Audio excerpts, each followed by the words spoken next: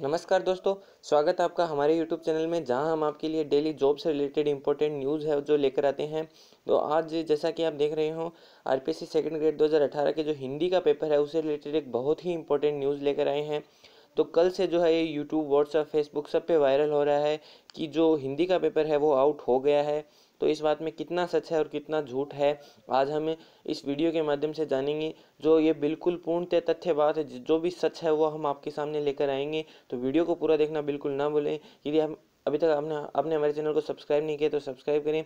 तो बिना समय गवाए शुरू करते हैं आज का वीडियो तो देखिए दोस्तों, जो आप देख रहे हैं, ये है दैनिक भास्कर का एक जो न्यूज़पेपर है, उसका कटआउट है तो इसमें क्या लिखा है? ग्रेड सेकंड शिक्षक भर्ती, अभी पेपर लीक नहीं माना।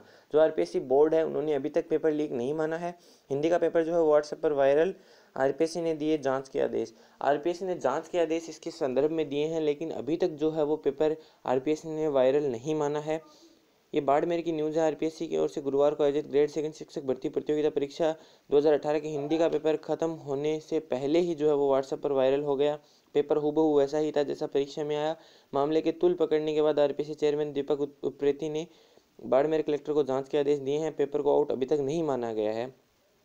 आरपीसी अफसरों का कहना है कि जाँच रिपोर्ट के बाद ही कोई निर्णय लिया जाएगा। अभी तक पेपर आउट जैसी कोई सूचना सिर्फ़ अफवाह है। परीक्षा गुरुवार सुबह नौ बजे शुरू हुई।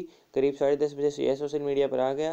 कलेक्टर ने मामले की गंभीरता से लेते हुए एडीएम राकेश कुमार से तथ्यात्मक रिपोर्ट मांगी है। सुबह ग्यारह बजे परीक्षा खत्म हुई। इसके बाद अभ्यर्थियों को सूचना मिली तो उन्हें उन्हें भी आक्रोश जताते हुए आरपीएससी ने, से हिंदी का पेपर दोबारा करवाने की मांग की है।